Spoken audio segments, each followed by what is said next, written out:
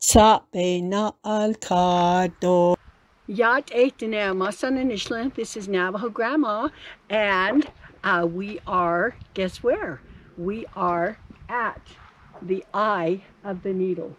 And you're gonna hear some people screaming and having fun up there. We don't know, these are recreational, recreational people, but um, we're going to go back to Lisa Barrios and her question to Grandma was, um, Grandma, how about sewing? Like, what did your grandmas, great grandmas use for thread and needles in the time there, there were none? And Lisa, there were thread, thread and needles in the lives of our ancestors. And the difference is it was unlike the thread and needles of today. And like these, okay? A brief history, uh, I mean, Grandma's to give, like the archaeologists and anthropologists have discovered sewing needles with eyes dating back to 17,500 BC, which were likely made of bone and used to sew skins and furs. The earliest, the earliest needles were made of bone or wood or porcupine quills and Native American as a whole created what they used such as uh, tools, clothing, needle, and thread from their environment all around. And they were simply creative their spiritual connections with the Creator, and great respect, giving back what they used. Thus, Native Americans made cord and thread from the fibers of many plants, trees, including evergreen roots, and other material such as animal sinew and rawhide. Cords from soaked sinew or rawhide strips needs to be dried in a tightly stretched position or the twists will loosen. Now you will see, Grandma's going to show you, okay, some things that were mentioned were about the bone. Uh, some of them were made of, like I said, from the deer. Uh, these are deer bones. These are porcupine quills. Look, look at that. And then, and these again were uh, the bone with the sinew. These are fish bones.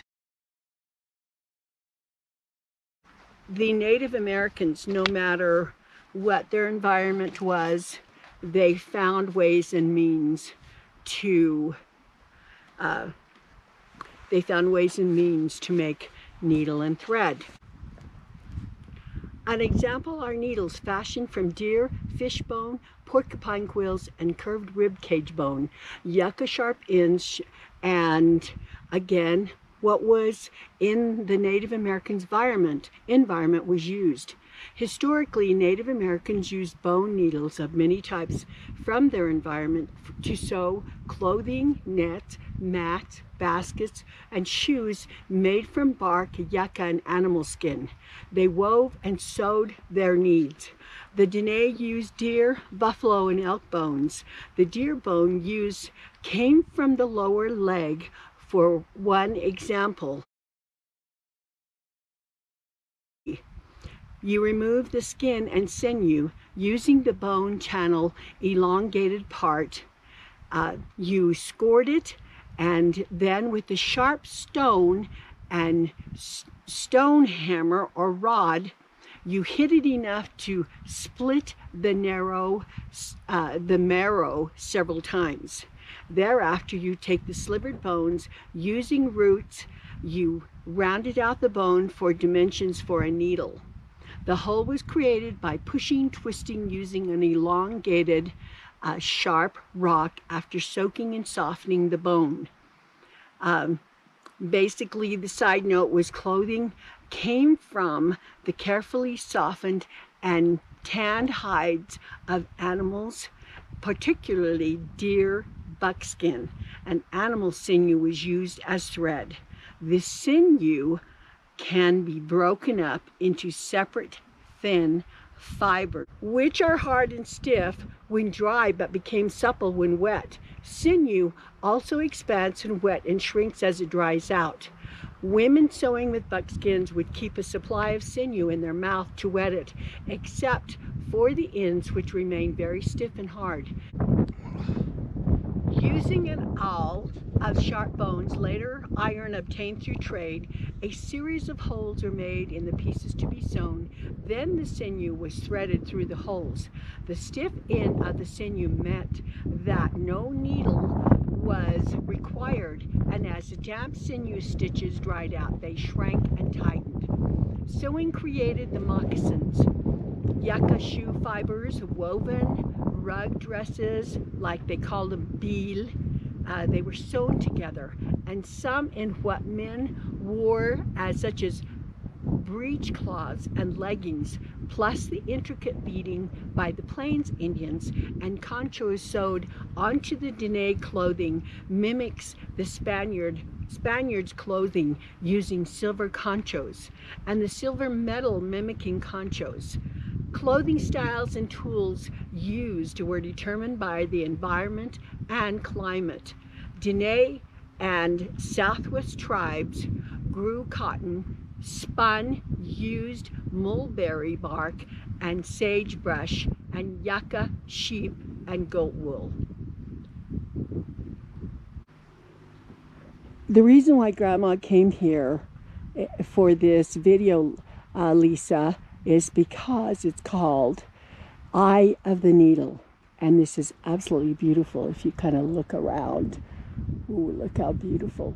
It's gorgeous. doing it really, really quick. Now I might have some recreation people jumping up and down there. I don't know. The but Grandma always writes, this is Native American needle and thread from their environment. Okay, so I have the rock, the wind is blowing, it's supposed to snow and rain tomorrow.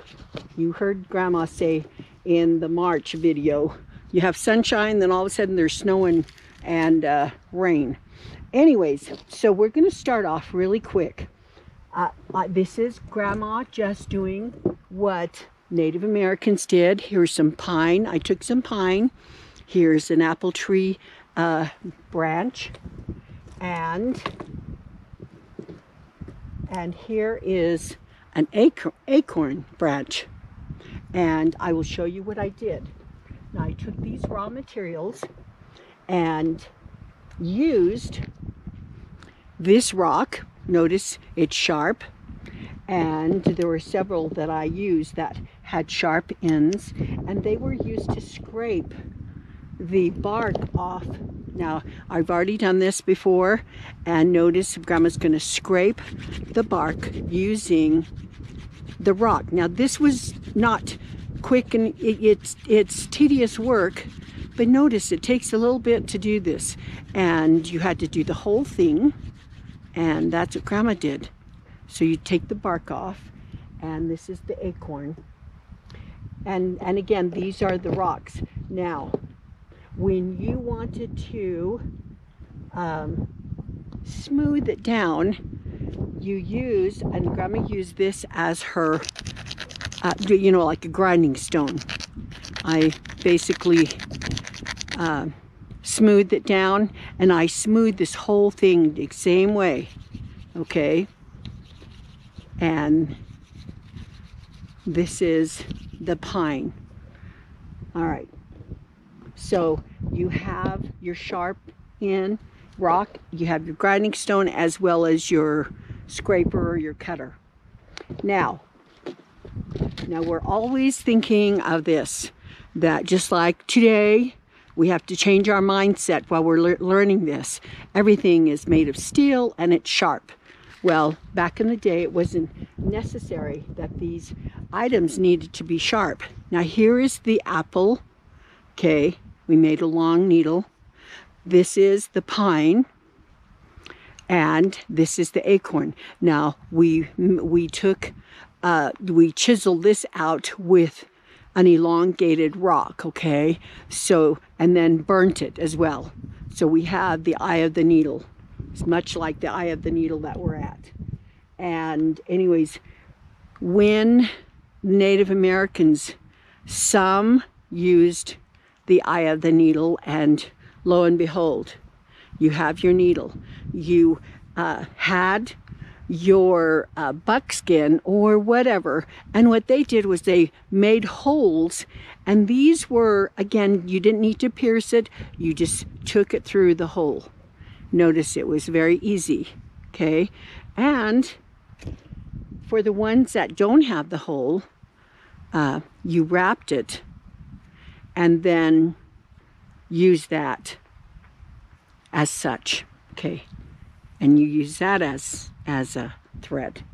So uh, create. notice this is all creative, creative ways of, of, of, of making the needle, you know. And so, and no, notice they're blunt. They weren't to have a sharp, sharp, uh, anything to uh, use that was made sharp. Now, we'll take it, take that thought back. Now, um, these are yucca, the tips of the yucca baccata. And grandma did the same thing here whenever these were dried and were no longer. This is the yucca baccata, okay? Uh, let's explain that really quick first. Notice how thin the leaves are. If you have anything wider than this, you don't have yucca baccata. Okay, so once these were no good, Grandma cut the tops off, and thus they were like this. And you did the same thing. You made a hole, and you wound the sinew around there, and you could pierce uh, whatever it is. And usually they were woven, woven yucca, and for shoes and, you know, mats, you use that to pierce uh, you use this to pierce that type of wear. And I will show you, now this is kind of old, uh, but how you use this uh, is by taking, let's see, a rock like so, and you laid it down, and you made sure that you could flatten it out, and you rubbed it and you flattened it out. Now when you do that, you're taking all of the liquid out of here, the um, saponins or whatever, and it makes it so more pliable. And then you take your fingernail and you pull these and you'll end up with a lot of thread. Now, that is what you do. Here is an example. Now, this is what I did. I pulled it apart. I noticed how thin it can the thread can be. And I, I took this side, I mean, I, I basically uh, braided this part and pretend like that's not there. And then you have your, your thread. This became a thread. And what would happen was you, you cut this off. And so you actually just carried this as a needle and thread okay? It became an automatic needle, needle and thread, and it's very, very strong. And this is what you used to sew the yucca shoes and the mats. Smart. And again, uh, these are ways and means, Lisa. And here is the sinew. And sometimes they were, they, you know, they were all different sizes, okay? These are store-bought. Grandma didn't go and chew the sinew. I don't think I could. But, and here is leather. And they also did the same thing. So when they pierced holes in the leather, the hide for clothing, they just uh, carried, you know, uh, they put their, you know, they just uh, used their own hands to put through the, you know, to guide this through the holes and it was tedious work. You just didn't get a pair of pants or a pair of, you know, breechcloths in one day. You you worked and you really worked at what you what you had. And how wonderful. This is uh, Lisa for you and how one and and you've learned something here. Um, and that's it. And I can't wait for the live. Let's get the two videos, the last two videos done, and then we will finish and have a wonderful, uh, then you will get your gifts. Thank you so much. Again, I love you. Hagone. So, this is, again, my backdrop. I just want you to be able to take a deep breath and see where grandma goes. And, uh, you know, we have enough pain in the world. Let's look at how beautiful this is. And look at this. This sandstone is absolutely beautiful. And look at that hole in the rock. I'm, I would tell you a story about grandpa about that, but I'm not. When I first met him, he almost tipsy-turvied off of this. Sometimes you get a really wild wind here, and grandpa kind of did that. But look how beautiful this environment is just gorgeous. Look at all the shrubbery, the painful. Uh, these are, you don't want to go barefooted out here. But anyways, look how beautiful it is. I wanted you to see this. So take, take a deep breath. You learned about the needles and the thread. Lisa, thank you so much for this opportunity. And remember, Grandma loves you. I hope you are learning things and tucking them in your in your pocket of your mind and learn from it. And when you don't have Walmart to run to, you might have to just go out and whittle your own stuff.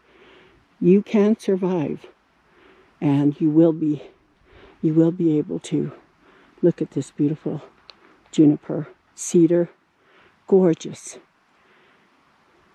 the air is beautiful Say a prayer. Say thank you to your Creator, to Jesus Christ, for all that you have. We are so blessed. Look at that. Take a deep breath. Remember your relaxation techniques. Grandma has taught you some things you can learn and uh, relax and pray for all the people who are suffering. I hope you remember them in Ukraine and everywhere else. I love you so. Bye.